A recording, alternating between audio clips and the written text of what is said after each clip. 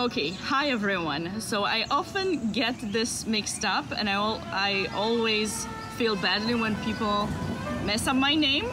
I call Grandmaster Irina Krush Irina, but I've heard some people call her Irina. So now we're gonna get Irina or Irina's answer as to how she prefers to be called.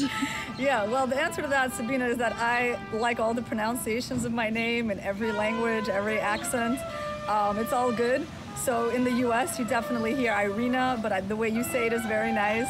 And Irina or Irina, it's all good, you know. So um, yeah, you can, you can keep doing what you like, Sabina. All right. Well, you know how to call now, Irina. I I will keep calling you Irina, uh, and hopefully you're rooting for her in this tournament and others. Good luck to everything, and we'll see you guys soon.